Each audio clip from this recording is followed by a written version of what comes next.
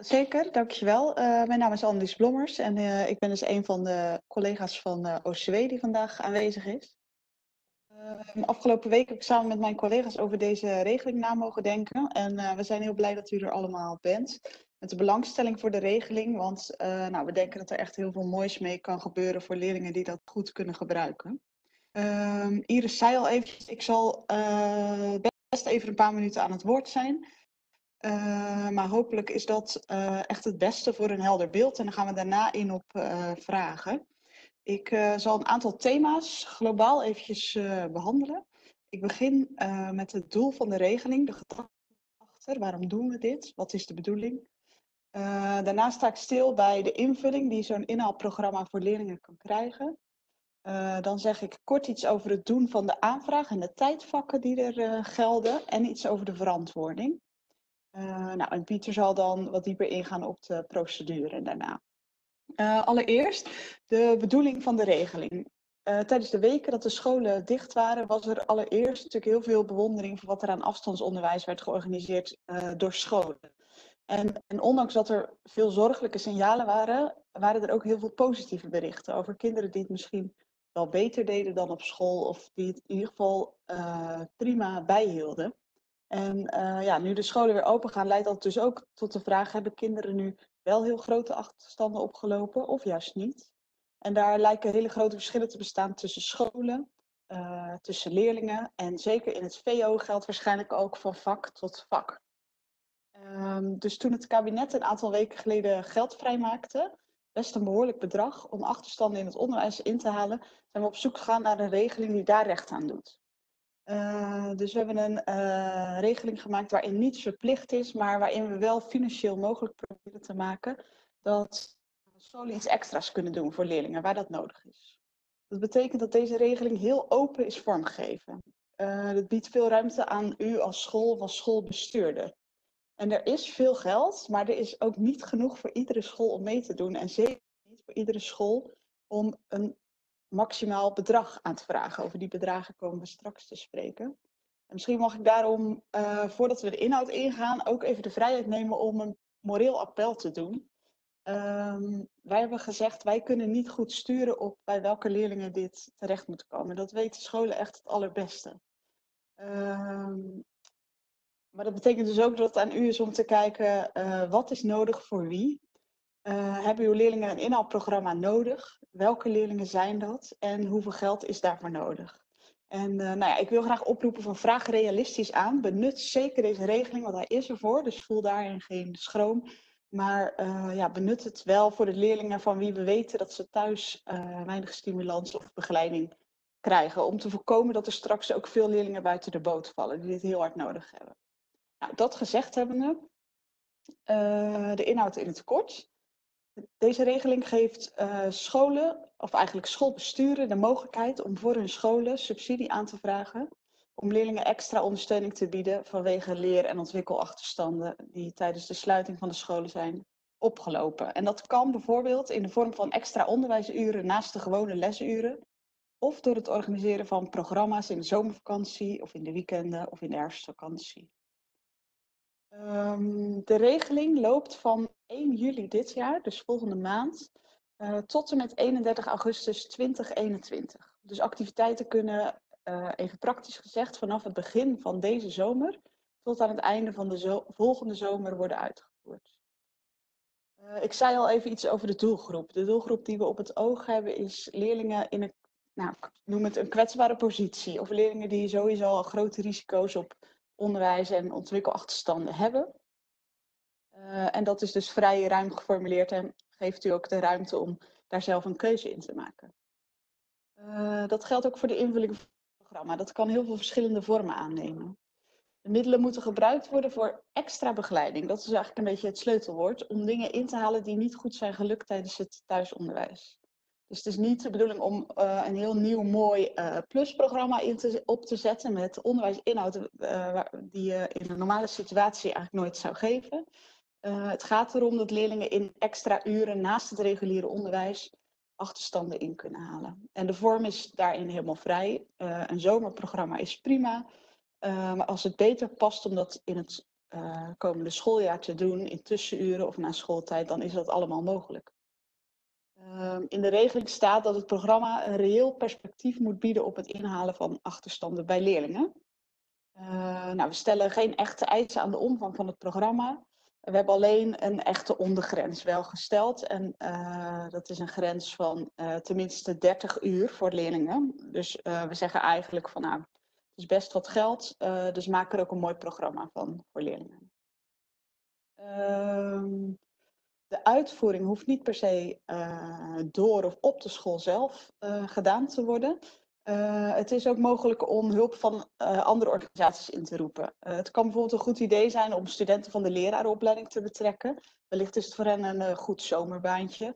Of kunnen ze ervaring of stageuren bij opdoen. En we raden ook aan om, voor zover dat mogelijk is, contact te zoeken met de gemeente. Want die hebben soms uh, centraal aanbod of hebben zeker voor leerlingen in het primair onderwijs dan al ervaring met de organisatie van zomerscholen. Dus we denken dat in die verbinding veel winst te behalen is. Uh, het is niet verplicht, we gaan daar ook niet op controleren, maar uh, we geven het wel graag even mee.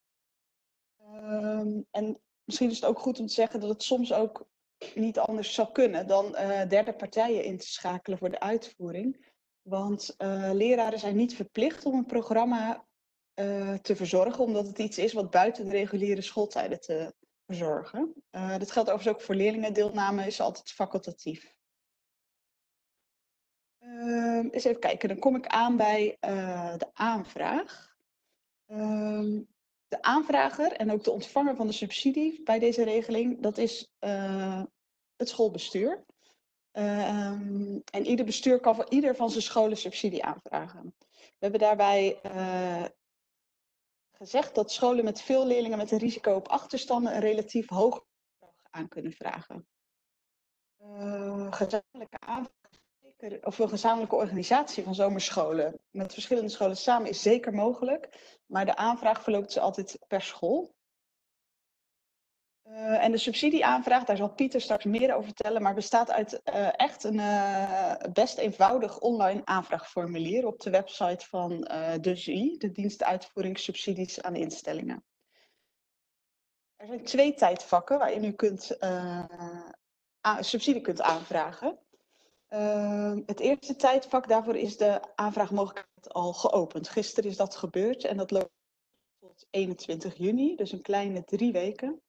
En die aanvraagperiode is bedoeld voor uh, activiteiten die plaatsvinden van 1 juli tot en met 31 december 2020. Dus eigenlijk vanaf 1 juli tot aan de rest van het jaar.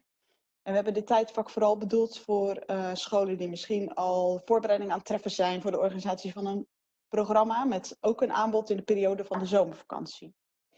Um, nou, wilt u als school een aanbod organiseren dat helemaal na de zomervakantie plaatsvindt, heeft u misschien ook iets meer tijd nodig nog om te bedenken wat nou passend is, omdat u de leerlingen nog nauwelijks op school heeft gezien natuurlijk. Dan uh, is er ook het tweede tijdvak. En uh, de aanvragen daarvoor die kunnen gedaan worden vanaf 18 augustus tot en met 15 september. Dus het is meer aan het einde van de zomer staat het weer een maand open. En uh, die aanvraagperiode is bedoeld voor uh, activiteiten die tussen 1 oktober tot en met 31 augustus uh, van het volgende schooljaar plaatsvinden. Het zijn een hoop data, maar je kunt het allemaal rustig nalezen in de regeling ook. Uh, u hoeft niet bang te zijn uh, dat de subsidie na het eerste tijdvak al op is. voor beide tijdvakken is de helft van de subsidie gereserveerd.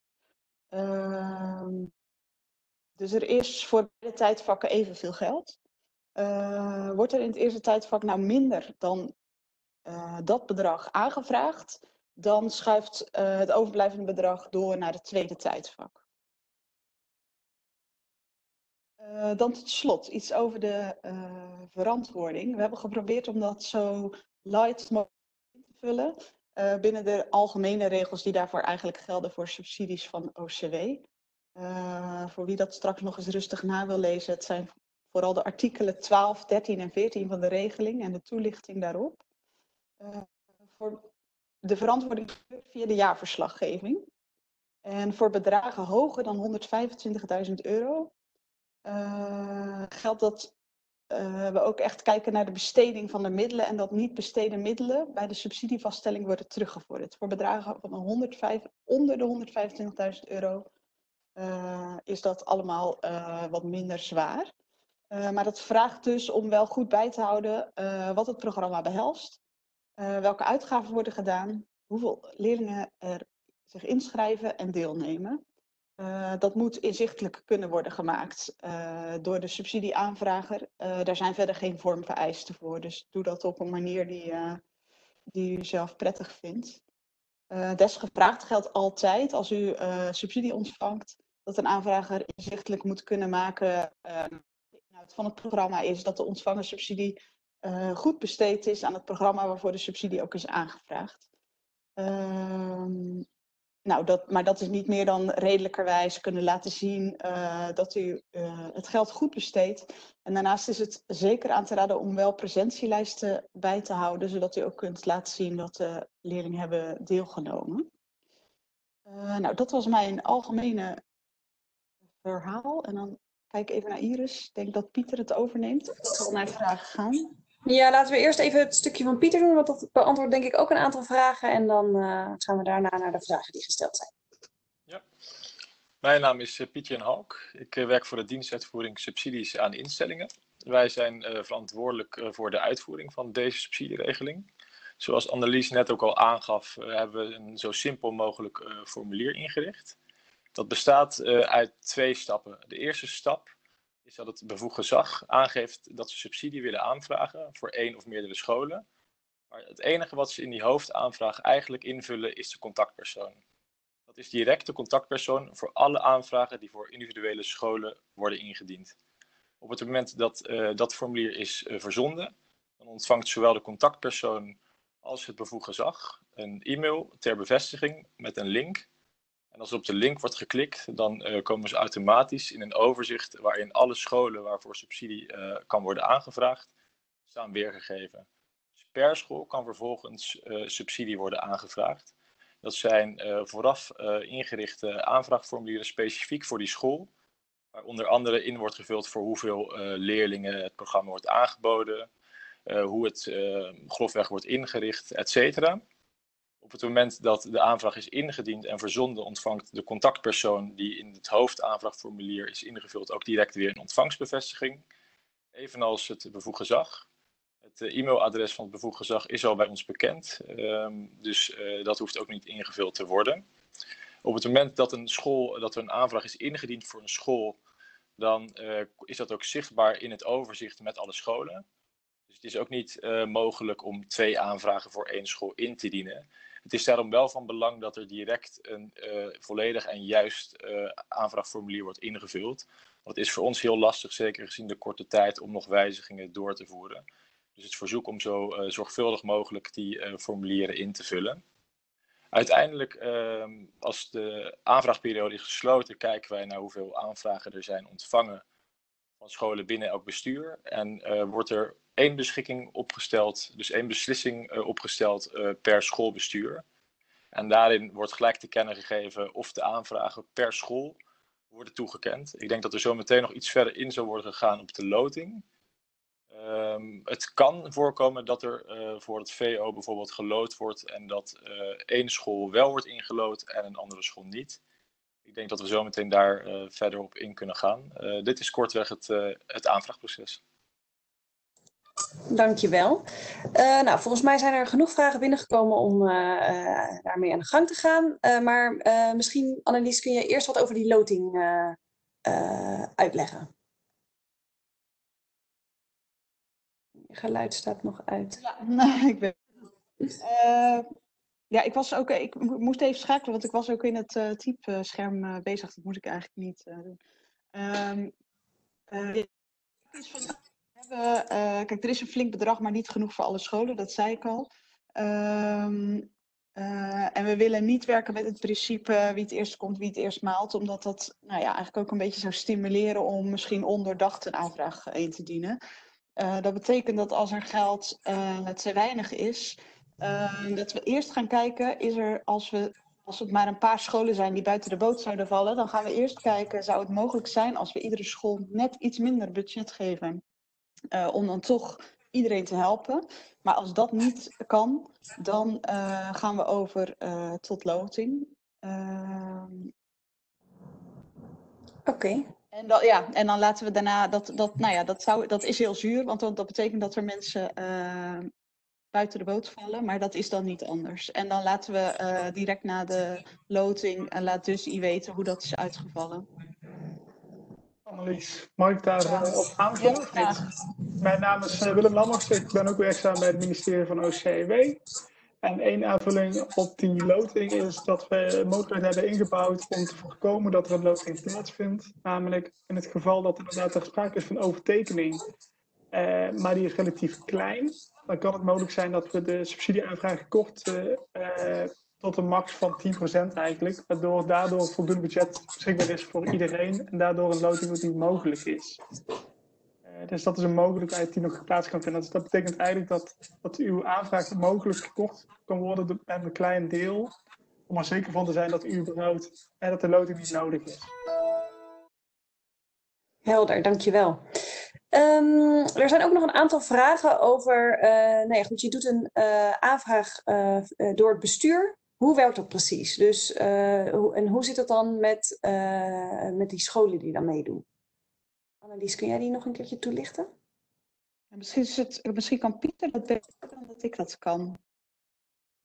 Ehm, uiteindelijk eh, wordt de subsidie, en dat gaat dan om voor ons één subsidieproject, eh, behandeld eh, op bestuursniveau. Dus eh, mocht een bestuur voor tien scholen aanvragen, dan zien wij dat uiteindelijk als één subsidieaanvraag. Dus eh, ook als we kijken naar bijvoorbeeld de verantwoording, als het totaal aangevraagde bedrag door het bestuur hoger is dan 125.000 euro, dan zit daar dus een zwaardere verantwoording op dan wanneer dat lager uitvalt dan 125.000 euro. Uh, maar het gaat dus echt op bestuursniveau wat dat betreft en niet op schoolniveau. Oké, dankjewel voor je toelichting. Um, en um, als een bestuur voor meerdere, met meerdere scholen een uh, aanvraag doet in tijdvak 1, mag dat dan ook nog zijn uh, in uh, tijdvak 2? En mag dat dan voor dezelfde scholen of moet het dan zijn voor andere scholen? Het is mogelijk om dezelfde school in beide tijdvakken aan te vragen. Uh, wel geldt uh, het subsidieplafond, dat beschreven is in de regeling, dat geldt wel over het totaal. Dus uh, daar moet je dan rekening mee houden in de hoogte van de aanvraag. Maar dezelfde school mag in beide tijdvakken meedoen. Oké. En ehm, even kijken hoe. en legt het bestuur dan in totaal de verantwoording af of doet elke, iedere school dat voor zichzelf? Nee, de, uh, het bestuur is de aanvrager en de ontvanger van de subsidie. Uh, dus die uh, moet ook de verantwoording doen. Oké. Okay. En die grens van 125.000, wordt die gehanteerd per school met, met een BRIN-nummer? Of, Nee, die geldt ook per bestuur. Kijk, dankjewel. Even kijken hoor, dan gaan we kijken waar we zijn gebleven. Ehm, kan een extra ondersteuningsklas boven schools worden ingericht met deelname van leerlingen van verschillende scholen onder uh, schooltijd?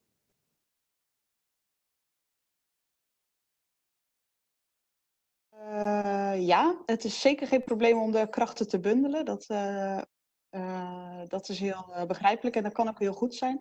Ehm, het is dan wel even zoeken hoe het in te richten met de aanvraag. Ehm, ik kan bijvoorbeeld uh, voorstellen dat de scholen dan wel voor hun eigen leerlingen aanvragen en het, en het geld vervolgens uh, doorsluizen naar de school die uiteindelijk uitvoert. Of uh, nou ja, daar, daar, daar, is dan even een modus in te vinden. Maar gezamenlijk uitvoeren is, is geen probleem. Okay. En hier wordt ook een vraag gesteld over, nou ja, het kan eventueel ook worden voorkomen door afstandonderwijs. Mag je eventueel ook een device aanschaffen? En volgens mij uh, kunnen we dan uh, meteen ook vragen beantwoorden over überhaupt uh, waar je het geld aan mag besteden. Ja, dat is eigenlijk heel, bijna op alles is het antwoord ja. In de zin van alle kosten die komen kijken bij de organisatie en de uitvoering van het programma. die kunnen worden betaald uit de subsidie. dus dat kan zijn ehm, gewoon arbeidsuren. Uh, het kan zijn uh, gebruik van een locatie als dat echt niet in de eigen school kan. Uh, en dat kunnen ook materiaalkosten zijn. Waarbij wel geldt dat uiteraard de uitgaven echt goed terug te moeten voeren zijn op het programma. Dus we kregen op de elders ook al wel de vraag van, ja, als ik nou een nieuwe methode wil aanschaffen, ja, dat, dat lijkt niet te gaan over dit inhaalprogramma. Dus het moet gekoppeld zijn. Maar dan is dat verder vrij. Oké, okay, dankjewel. En ehm, er wordt een vraag gesteld, hè, er wordt gevraagd om een kostenoverzicht vooraf. Maar dit is ook wel vaak lastig in te schatten wat het, hoe het precies zal uitvallen. Hoe wordt daarnaar gekeken? Um, ja, dat, uh, dat kostenoverzicht is om uh, even de inschatting te laten zien, want dat we te maken hebben met de aanvraag. Er wordt niet afgerekend op of die posten ook precies zo ehm, zijn gemaakt achteraf. Dus zie het echt als een uh, begroting en een inschatting. En uh, als daarvan af wordt geweken, dan is dat uh, geen probleem. Wat uitgaven betreft aan de verschillende posten. Misschien wel van belang om te noemen dat we dus wel kijken naar het aantal leerlingen waarvoor is aangevraagd.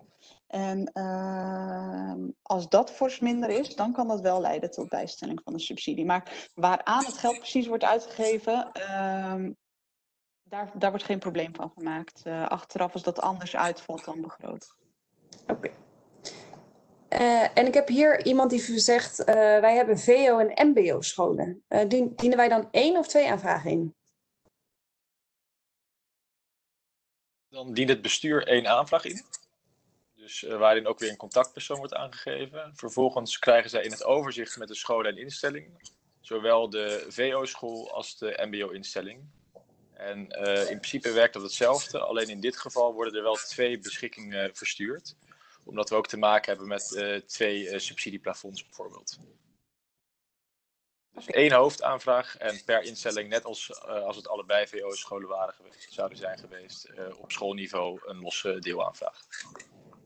Oké. Okay. Even, even tussendoor, ik ga in de chat ook te zien. Pieter, kun jij je webcam aanzetten? Of ja, ik... Je hebt een mooi gezicht en mogen mensen best zien. Doet hij het nou? Uh, nee, nog. Ja, ja nu, nu ben je in beeld. Oh. nou, dat, dit is Pieter.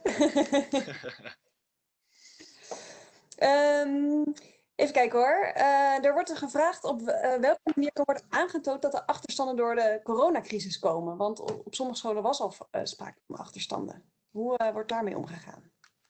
Ja, en, en, en uh, het ligt voor de hand om te redeneren dat het voor die kinderen de sluiting uh, ook uh, nou ja, meer impact heeft gehad. Ehm, u hoeft dat niet aan ons aan te tonen. Dat is echt, eh, echt het professioneel oordeel van de school zelf. Oké. Okay.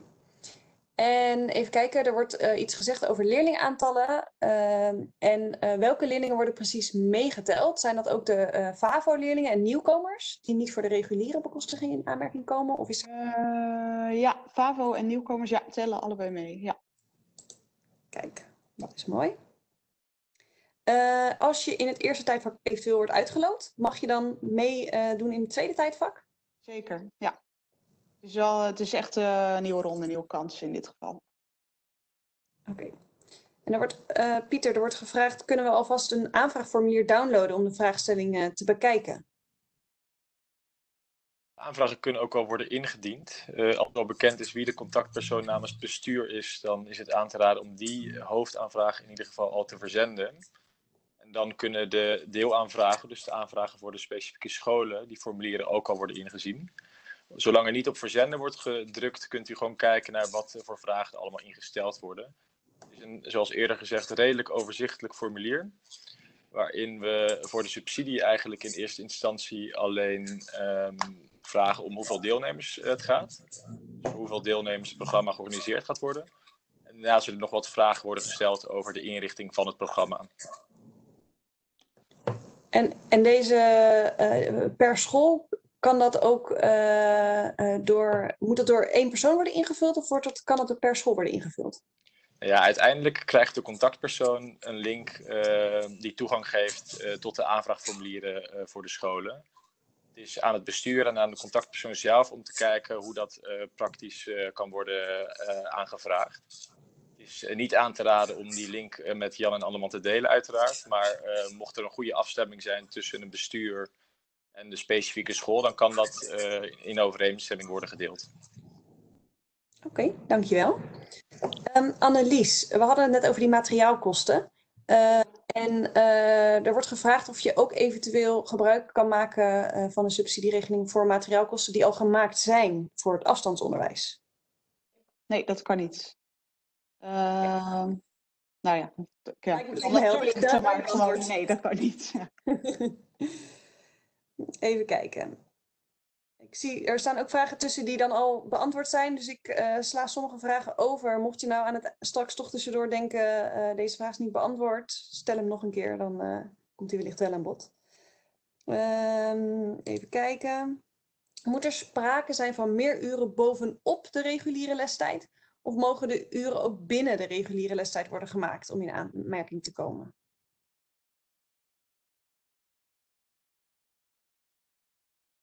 Annelies, kun je... Oh, ja. um, het, is wel, het is de bedoeling dat het uh, extra...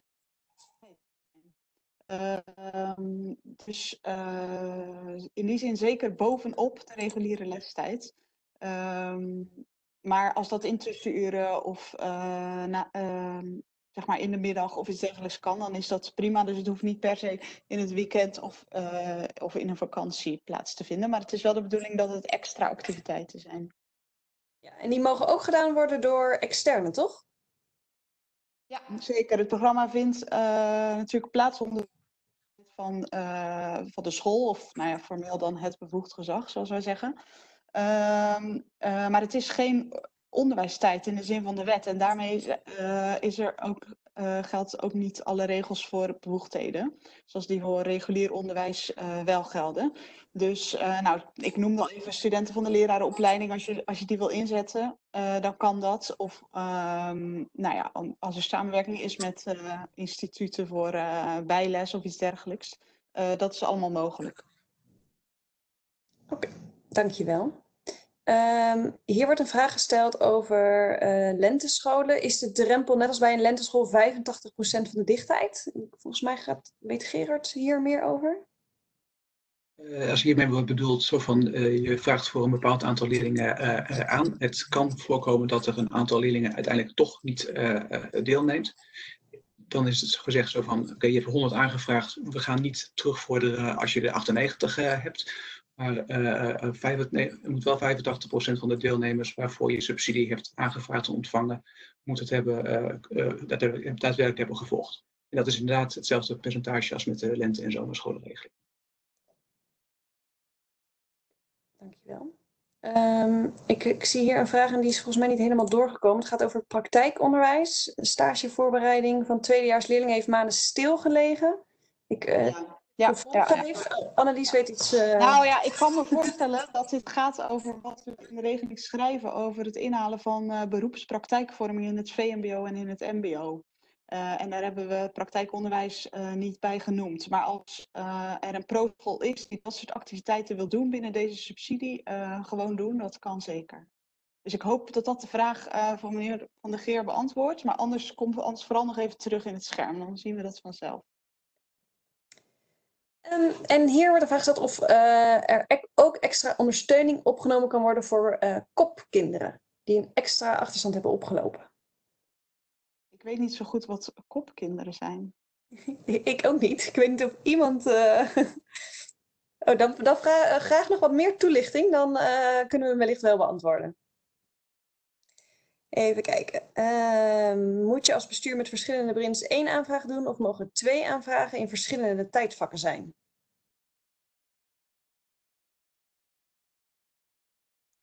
In, uh, in principe mag dat beide. Uh, we kijken gewoon naar hoeveel er per school aangevraagd mag worden. Dat is op basis van het maximaal aantal leerlingen.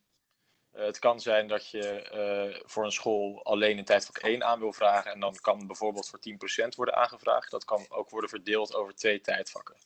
Er zijn uh, scholen vrij in, zolang men onder het maximaal aantal leerlingen blijft ervoor aangevraagd mag worden. Oké. En Pieter, hoe weet je wanneer je recht hebt op, op 10 of 20% van het aantal leerlingen? Op de website van dus I zijn lijsten beschikbaar, ook voor het VO, waarin op brinnummer kan worden gevonden voor hoeveel leerlingen er aangevraagd kan worden. En of dat op basis van 10% is van het totaal aantal leerlingen of op basis van 20%.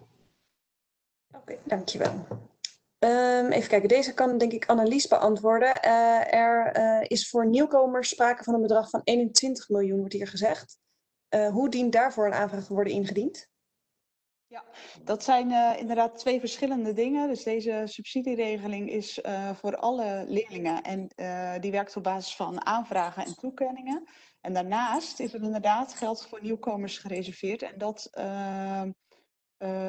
wordt nou, ik weet, vergeef me als ik verkeerde woorden kies, want ik ken die regeling niet goed. Maar volgens mij wordt dat zo verdeeld dat er eigenlijk een kwartaal ehm, verlenging is aan de extra bekostiging die voor nieuwkomers wordt gegeven. Dus omdat er een tijdje geen onderwijs is geweest, wordt er een kwartaal extra geld uitgekeerd. ik geloof dat dat vanzelf gebeurt als u de aantallen nieuwkomers opgeeft. Dat die bekostiging dan als vanzelf een kwartaal langer wordt uitgekeerd. Maar dat staat dus los van deze regeling. En daar hoeft u ook geen aanvraag voor in te dienen. Oké.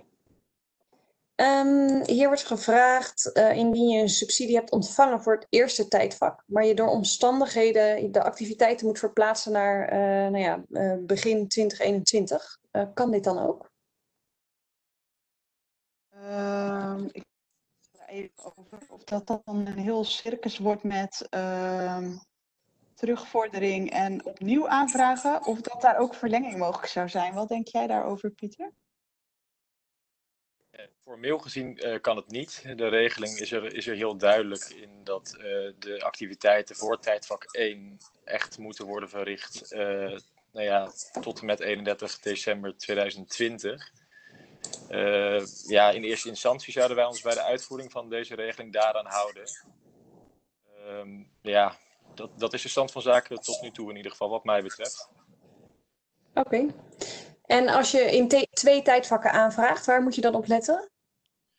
Uh, het, het, het, enige wat van belang is, zeker als er in het eerste tijdvak is aangevraagd, dat men zich beseft dat uh, niet voor alle leerlingen nog aangevraagd kan worden als men in totaal voor 100 leerlingen aan mag vragen, dat, uh, nou ja, en er is in tijdvak 1 voor 50 aangevraagd, dan kan men in tijdvak 2 uh, eh, ook maximaal voor 50 leerlingen aanvragen. Oké, okay, volgens mij is die helder. Uh, dan hebben we nog een vraag over lente- en zomerscholen. Uh, leerlingen die daaraan meedoen, mogen die ook nog deelnemen aan deze regeling? Ik denk dat Gerard die ja, daar kan ik uh, inderdaad iets over zeggen. Misschien nog wel iets langer dan, dan alleen het antwoord van ja, dat kan. want het is misschien goed om eventjes daar net even iets langer op in te, te gaan. Is ook wat jou betreft oké, okay, Iris?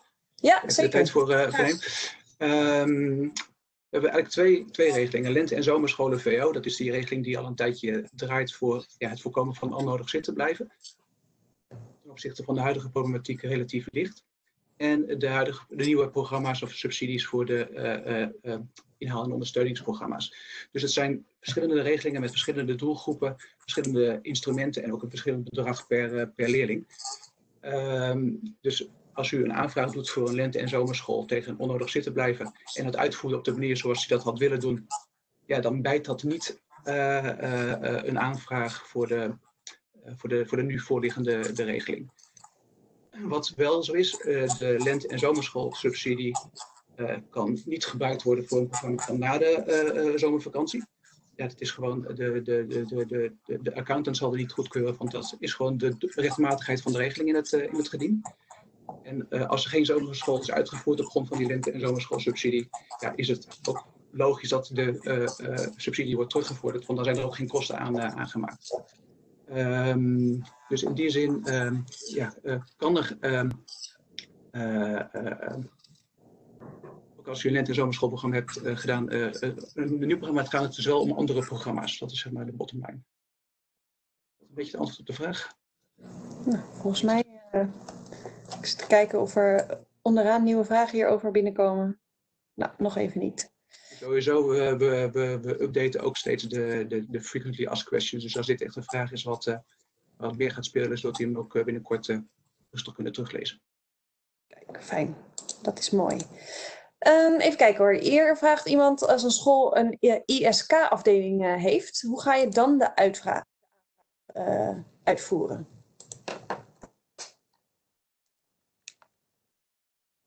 Kijk, wie, Pieter, jij die? Ja, ik, ik, twijfel even over of dit gaat over de, de, manier van aanvragen of over de invulling van het programma. Uh, in ieder geval is het zo dat uh, ook kinderen in de ISK, uh, dus voor wie ook de ophoging van de nieuwkomersbekostiging geldt, dat die gewoon kunnen meedoen in de inhoudprogramma's.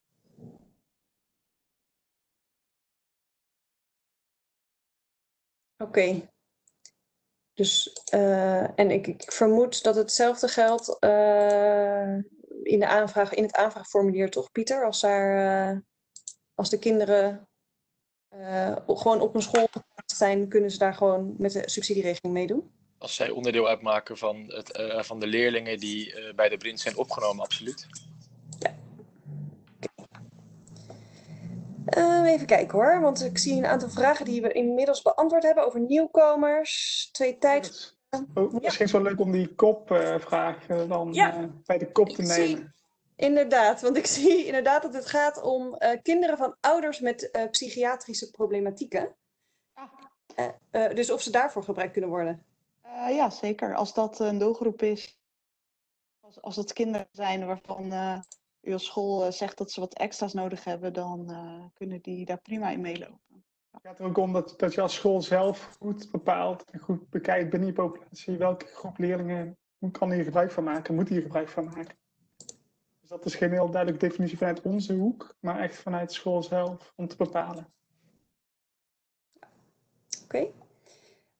Um, hier wordt gevraagd als je die gehele periode uh, extra ondersteuning wil bieden aan kinderen. Kun je dan het beste je aanvraag verdelen over die twee tijdvakken? Ik twijfel even of Pieter deze... Ja, ik kan daar wel wat over zeggen. Uh, dat, dat moet inderdaad, want uh, met subsidievoorwaarden is het zo, daar, daar worden wij als OCW ook aan gehouden, dat het geld moet worden uitgegeven, de activiteiten moeten worden gedaan in de periode die daarvoor gesteld is. Dus dat betekent dat er zit wel een kleine overlap in, want uh, tijdvak 1 loopt natuurlijk van 1 juli tot en met 31 december. En tijdvak 2 begint dan al uh, in oktober. Dus daar zit iets speling in. Uh, maar het geld van uh, tijdvak 1 moet wel echt besteed zijn op, e-, uiterlijk op 31 december. Dus alles wat daarna valt, moet worden aangevraagd in dat tijdvak. En hoe dat verdeelt, uh, daar zag ik een vraag over. Ja, dat is toch even een inschatting maken, denk ik, van hoe de kosten uitvallen. Ik kan daar niet zo goed uh, in algemene zin iets over zeggen. Oké, volgens mij is het wel helder zo. Um, we hadden het eerder over die uh, materiële begroting, hè? dus voor andere dingen dan uren. Um, hoe moet dat in het aanvraagformulier worden opgenomen? Pieter? Dat staat uh, inderdaad, ik zie de vraag ook voorbij komen, niet in het aanvraagformulier. Wij vertrouwen erop dat er op voorhand goede plannen worden gemaakt op basis waarvan de aanvraag wordt ingediend. achteraf zal er indien nodig worden gekeken of de kosten daadwerkelijk zijn gemaakt, mits het bedrag boven de 125.000 euro is per bestuur. Maar het klopt dat dat inderdaad niet terug te vinden is in het aanvraagformulier. Dat is ook niet iets wat wij aan de voorkant zullen beoordelen. Um, even kijken hoor. En hier wordt gevraagd over, uh, hey, mogen docenten ook uh, geschoold worden uh, om, nou ja, onder deze subsidie? Lies, denk ik dat hij wel kan beantwoorden. Oh, ik zie Willem ook. Ja, Willem wil graag ook. Ik, mijn, mijn eerste reactie is, is, is dat het uiteindelijk niet zo realistisch is. Hè? Dus dit, het, het, doel van, dit, van de subsidie is dat er een programma georganiseerd wordt om leerlingen die een bepaalde achterstand hebben opgelopen of bepaalde ondersteuning nodig hebben te helpen. Het is al vrij indirect als dat via de ondersteuning, via de professionalisering moet gaan van de bestaande docenten. Ja, dus er kunnen wel extra uh, mensen ingezet worden om te ondersteunen, maar niet dat die mensen dan ook nog weer geschoold moeten worden. Volgens mij vat ik hem dan zo samen, want iemand anders vraagt ook nog een keertje, mogen onderwijsassistenten worden ingezet? En dat kan geloof ik wel, hè? Ja.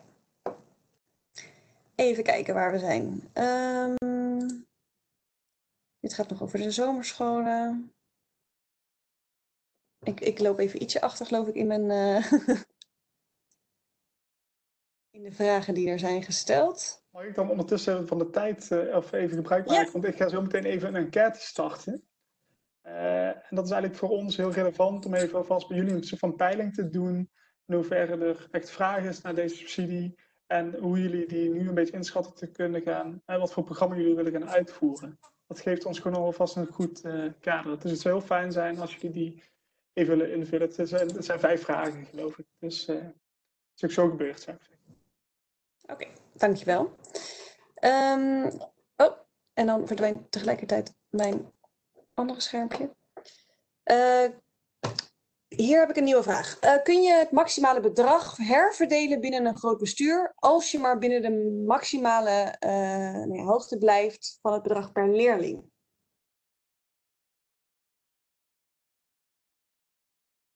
Wie kan deze vraag beantwoorden? Annelies? Ja, of Pieter wellicht ook, of Zou je niet? hem voor mij één keer kunnen herhalen? Want je viel heel Ja. even weg bij mij. Ah, dat, dat kan. Kun je het maximale bedrag herverdelen binnen een groot bestuur als je maar binnen dat maximum van 900 eh, euro per leerling blijft? Eh goeie vraag. Eh, uiteindelijk is het, voor ons, is het voor ons één aanvraag. Het is natuurlijk niet de bedoeling dat er ehm, aan wordt gevraagd voor een school waar totaal geen leerlingen in zitten waarvoor de subsidie bedoeld is. Maar op het moment dat er leerlingen van andere scholen mee kunnen doen eh, voor de deelaanvraag eh, van school A, dan, ja, dan is dat zeker mogelijk. Uiteindelijk is natuurlijk ook de doelstelling dat er zoveel mogelijk leerlingen die vallen binnen de doelgroep worden geholpen met, met deze regeling. Oké. En ehm, Annelies, mag je ook eh, ouderprogramma's of ouderbetrokkenheid inzetten om die kinderen extra te ondersteunen? Eh, ja, zeker. Zeker, ja, dit geldt, dit, dit, dit eh, past denk ik in de... Nou, het is misschien wel even de vraag hoe het bedoeld is. Ehm, eh, mag je ouders inzetten om dit programma te realiseren? Ja, zeker, dat mag. Mag het geld ook gebruikt worden om ouderbetrokkenheid te stimuleren? Nou, dat niet. Want het gaat echt om inhaal- en ondersteuningsprogramma's voor kinderen om die achterstanden in te halen. En het eh ouderbetrokkenheid is super belangrijk bij achterstanden, alleen eh, valt niet binnen deze regeling. Bottom line is dat de subsidie wordt uitgekeerd eh, om een programma van een dusdanig substantiële omvang mogelijk te maken dat een realistisch perspectief wordt geboden op het inhalen van achterstanden. En daar kunnen verschillende dingen voor nodig eh, zijn, maar sowieso inderdaad ouderparticipatie als zodanig is ja niet het, eh, een doel. Tenzij als dat inderdaad nodig is voor het goed uitvoeren van deze programma's. Oké. Hier nog een vraag over nieuwkomers. Er werd aangegeven dat het aantal nieuwkomers aangegeven moest worden. Is er een specifiek formulier of wordt gebruik van, gemaakt van reeds bekende gegevens? Ik denk dat Pieter deze vraag. Ik vrees, of heb ik nou spraakverwarringen gecreëerd? Dat kan ook hoor. Mij maakt dat geen onderdeel uit van, van deze regeling. De gegevens die wij hebben gekregen wat betreft het aantal leerlingen, eh, dat zijn totale aantallen. En daar wordt geen onderscheid gemaakt tussen eh, groepen intern nog. Ja, dus Ja, dus dat, Kijk- sorry, dat is mijn fout geweest, omdat ik, eh, ik weet niet precies hoe de, hoe de nieuwkomersregeling, die bekostiging werkt. Dus eh, waarschijnlijk heb ik daar wat warrig over geformuleerd. Maar wat ik bedoelde was, eh, voor deze regeling mag gewoon iedereen meedoen, ook nieuwkomers, dat doet er niet toe. En daarnaast is er dus van een ophoging van de nieuwkomersbekostiging met een kwartaal. En dat loopt gewoon, nou ja, zoals dat altijd loopt. Meer ga ik er niet over zeggen. Nee, precies. En daar, In de vlek. daar komt eventueel ook meer informatie over, toch? Eh, eh, op de website. Dat is, dat is nu eh, aangekondigd, gelijk met dat we deze regeling aankondigden. Maar ik denk zeker dat via de sectorraden en ook via het LOAN en via Rijksoverheid zal dat nog wel verder uitgewerkt worden. Oké, dus de vragen die daarover gaan, dat weten we dus nog niet precies. Dat, dat wordt later nog duidelijk. Ehm, even kijken. Eh, in hoeverre moeten leerlingen met kwetsbare positie of risico's betreffen? Mag het ook om gewone leerlingen gaan die in deze situatie niet voldoende inzet konden opbrengen of andere omstandigheden hadden?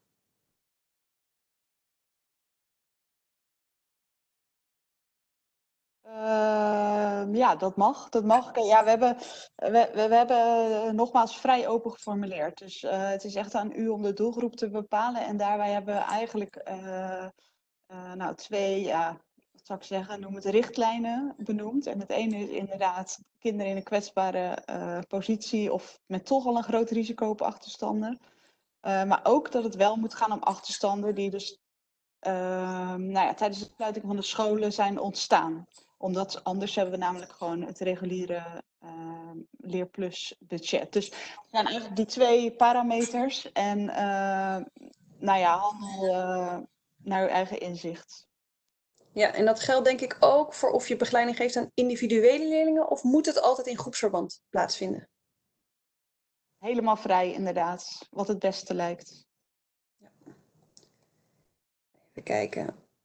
Eh, een hele praktische vraag. Er is al iemand die, heeft, die is bes- bestuurscontactpersoon, maar heeft nog geen bevestigingsmail ontvangen. Eh, Pieter, weet jij hoe dat werkt? Dan is het best dat, er een, eh, dat, dat hij dat even per mail aan ons kenbaar maakt. Dat kan via IOP, oftewel inhoud- en ondersteuningsprogramma's, apenstaartje minvws.nl. Oké. Eh, even kijken hoor, want dan zit ik ergens best wel onderaan. Hier, mag je meer dan 900 euro aan één leerling besteden? Dat mag, maar er wordt niet meer gesubsidieerd. Hetzelfde geldt ook voor, eh, hetzelfde geldt ook voor het aantal leerlingen. Hè? Dus het kan zijn dat je binnen je school zegt van ja, maar wacht eens even, we hebben echt wel voor een groep van 30% van onze leerlingen willen we een, van een programma opzetten. Dat mag natuurlijk. Het is alleen dat u subsidie ontvangt voor maximaal 10 of 20% van het aantal leerlingen. Oké. Ehm, hier wordt gevraagd om tips over aanvullende financiering naast deze subsidie voor een programma. Bijvoorbeeld via het ministerie van eh, SZW. Ik zie Willem lachen. Eh, Dat betekent dat Ja. jij... ik, ken, ik ken geen, eh, geen andere bronnen eigenlijk. Misschien wel de tip om ook even met de gemeente te overleggen. Omdat die eh, in het primair onderwijs een grote rol hebben in het onderwijsachterstandenbeleid. Dus wellicht dat daar samenwerking mogelijk is. Ehm, maar nee, sorry. Oké. Gerard, hier heb ik nog een vraag over de zomerscholen. Ehm, mogen de gelden die ontvangen zijn voor de zomerscholen ook worden ingezet om achterstanden weg te werken? En dus niet zoals gewoonlijk gericht op het blijven zitten van leerlingen? Wil je weg? Gerard valt bij mij weg. Ik weet niet, hij heeft vast mijn. Heb jij mijn vraag gehoord of niet? Ja, hij viel, eh, je viel halverwege eh, eh, weg. trouwens. Ehm, eh, of de, nee, de, de middelen die ontvangen zijn voor de lente- en zomerscholen, die zijn op grond van recht, rechtmatigheid moeten besteed worden aan een programma gericht op het, het inhalen van, of het voorkomen van zittenblijven. Het kan wel zo zijn dat het nu door de achterstanden die zijn ontstaan vanwege de coronatoestanden, leerlingen die nou ja, aanvankelijk niet eh, een, zomerschoolprogramma zouden hebben gevolgd, nu er opeens wel voor eh, in aanmerking zouden kunnen komen. Terwijl leerlingen die met een zomerschoolprogramma zo'n eh, achterstand hebben opgebouwd dat ze een zwaarder programma nodig zouden hebben. Dus dan zou je, nou ja, noem maar een do- doorschuiven van leerlingen, zo, zou daar mogelijk wat in kunnen zijn. Maar je kunt ook gewoon, dit proberen we ook even op papier in, de FAQ's wat ja, scherper te formuleren van het kan best een beetje nauw liggen. Oké, want hier wordt ook nog gevraagd of er eh, tijdens zo'n zomerschool naast die echte schoolse inhoudelijke lessen ook wat meer ja, ontspannende activiteiten mogen worden georganiseerd. Bottom line is, eh, eh, het programma moet leerlingen die forse eh, achterstanden hebben eh, eh, eh, opgelopen, echt een reëel perspectief. En daar kan inderdaad ontspanning heel erg baat bij zijn, dat, realiseer ik me ook. Maar inderdaad, eh, uiteindelijk moet je je kunnen verantwoorden dat dat inderdaad een reëel perspectief was. En om even gechargeerd te zeggen, het is niet alleen een, een ontspanningsprogramma, hoe belangrijk dat ook kan zijn. Oké. En eh, Mag ik daar nog iets eh, op aanvullen? We kennen natuurlijk in het zomerscholenregeling echt gericht op blijven zitten. Nou, daar heeft Gerard net iets over gezegd. Maar eh, in sommige gemeentes is het fenomeen zomerschool zo ook niet onbekend, omdat het eh, wordt gebruikt om eh, leerlingen die anders weken thuis en in de wijk hangen, gewoon iets nuttigs te doen te geven. En dan kan het natuurlijk super zinvol zijn om, om met die gasten te gaan sporten en weet ik wat allemaal. maar daar is deze regeling dan weer niet voor bedoeld. Maar ik kan me wel voorstellen dat het zomerschool dat soort associaties oproept. Maar we hebben het hier wel echt over nou, het inhalen van dus, achterstanden op het onderwijs, zoals Gerard zei. Oké. Uh, en kun jij misschien iets zeggen over, uh, je zei net aan het begin dat de regeling niet uh, voldoende is voor alle scholen, maar ehm, nou ja, voor welk percentage is dat ongeveer wel? Of voor welk percentage leerlingen? Misschien is dat...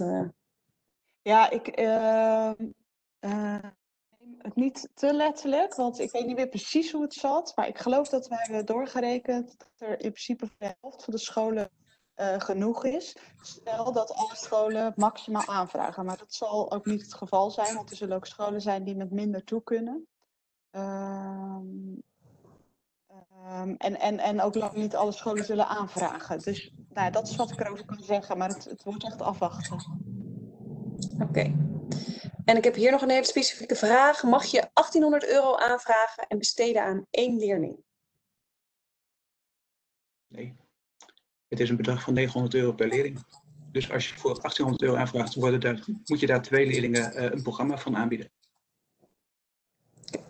Volgens mij heel duidelijk. Uh, even kijken. Um, uh, hier wordt nog een keer gevraagd over het maximaal aantal leerlingen per bestuur. daar is al wat over gezegd. Maar dat is, geloof ik, te vinden, Pieter Jan, bij het aanvraagformulier. Of Waar was dat exact? Pieter, we horen je niet. Uh, in, het, in het aanvraagformulier kan het sowieso worden teruggevonden, maar op uh, www.dusi.nl hebben een speciale pagina voor deze regeling. Uh, daar kunnen ook de lijsten worden gevonden uh, waar er per school staat vermeld voor hoeveel leerlingen er aangevraagd mag worden op basis van welk percentage. Dus 10% of 20%. Okay. Ja, dankjewel. En wij zullen ook zorgen dat jullie na afloop, eind van de dag, of ik denk dat het eerder morgen wordt, een, een mail ontvangen met de links daarin naar, nou ja, goed, naar dit soort plekken. Uh, en uh, nou ja, ook naar uh, de, de, bijvoorbeeld de website van de VO-raad, waar meer informatie te vinden is, waar voorbeelden te vinden zijn. En... Daarover, Iris, sorry dat ik je onderbreek. Nee, heel goed. Ninuke en Sterren, jullie zijn van de VO-raad. Zullen jullie nog kort even willen toelichten wat daar te vinden is? Wat, wat, wat mensen kunnen vinden als zij gaan naar de website van de VO-raad of de website van weeropschool.nl? Ja, uh, natuurlijk. Uh, wij zijn uh, vandaag vooral aangesloten om, als er wat meer praktische vragen gesteld werden over de inrichting van zo'n programma bijvoorbeeld. Vanuit VO-raad zijn we ook nauw betrokken geweest bij de lente- en de zomerscholen die al jaren georganiseerd worden en ook bij de doorstroomprogramma's. En op basis daarvan hebben wij allerlei tips verzameld van scholen hoe je zo'n programma buiten de reguliere onderwijstijd vorm kunt geven en wat daarbij bijvoorbeeld als je een derde partij inschakelt waar je dan aan moet denken en um, allerlei andere uh, tips. En die kun je vinden op de website van de VO-raad. Daar zullen we ook een linkje van toevoegen in de mail die jullie krijgen uh, naar aanleiding van deze webinar. Dankjewel voor de toelichting. Um, ja, en inmiddels, nou, we, we hebben zo nog wat tijd om, om een aantal vragen te beantwoorden. maar voordat het straks ineens de tijd voorbij is, uh, in die mail zal ook een plek zijn uh, uh, waar jullie vragen kunnen stellen. er is een loket geopend waar vragen gesteld kunnen worden over al het afstandsonderwijs of, of deze, in deze bijzondere tijd. maar dat zal ook voor deze subsidieregeling kunnen. Dus mochten er nog vragen leven straks, dan nou ja, lees vooral op die plekken die we, of die linkjes die we sturen. En uh, als de vraag er niet tussen staat, kun je dus ook nog terecht in het loket. Even kijken of er nog een vraag is die we uh, op de valreep uh, kunnen beantwoorden. ik zie een vraag tussentijds opslaan. Die kwam volgens mij voor de ja. tweede keer. Ja, dus Pieter, kun je beginnen aan het formulier en dan het later afmaken? ja, er is altijd de optie om tussentijds op te slaan. Dat staat ook uh, in de eerste pagina als het aanvraagformulier uh, wordt geopend.